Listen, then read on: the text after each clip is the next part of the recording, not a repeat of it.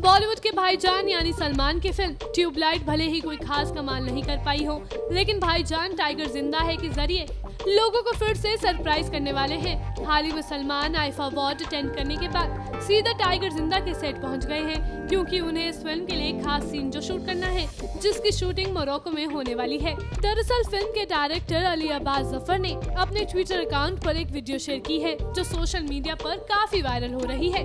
इस वीडियो में सलमान खान घोड़े पर बैठकर राइटिंग का मज़ा ले रहे हैं।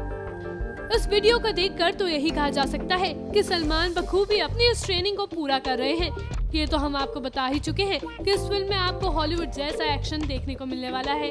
इतना ही नहीं टाइगर ज़िंदा है में सलमान के अलावा कटरीना भी जमकर एक्शन करती नज़र आएँगी। ये फ़िल्म साल 2012 में आई एक था टाइगर का सीक्वल है। इस फ़िल्म को कबीर खान ने डायरेक्ट किया था। वही इस फ़िल्म के सीक्वल को अली अब्बास ज़फ़र ने डायरेक्ट किया है। अली इससे पहले सलमान के साथ सुल्तान जैसी सुपरहिट फ़िल्म बना चुके हैं। खैर, अब देखना दिलचस्प रहेगा कि क्रिसमस के मौके पर रिलीज़ होने वाली भाईजान की ये फ़िल्म बॉक्स ऑफ़िस पर कितना धमाल मचाती है। एनएमएफ न्यूज़ की रिपोर्ट।